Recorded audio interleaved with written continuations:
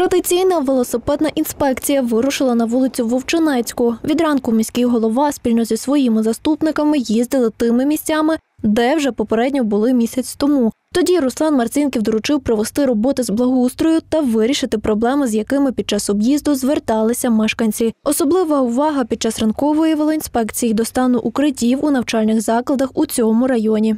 Дуже важливо було перевірити укриття саме в 16-й школі і е, в нашій 8-й школі.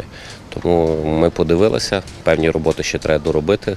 Освітні заклади готуються до відкриття 1 вересня, тому акцент на укриттях. Ну і також на поточну роботу, поточні ремонти. Ви бачили там біля смітника. Потрібно е, кусок заасфальтувати.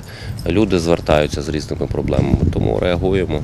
Хочемо, щоб все було гаразд. Підвалу у ліцеї номер 16 немає, однак тут були встановлені блоки, які згодом замінились на металеві захисні віконниці. Кожне укриття в освітніх закладах, кажуть посадовці, погоджене з ДСНС і є безпечним для тимчасового перебування дітей під час повітряної тривоги. Ми е, захистили актову залу за допомогою залізних віконниць.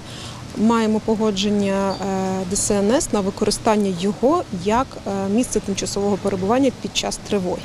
Це дозволяється, як і дозволяються інші площі на першому поверсі шкіл або ж ліцеїв, які доукомплектовуються, захищаються спеціальними віконницями і використовуються як укриття.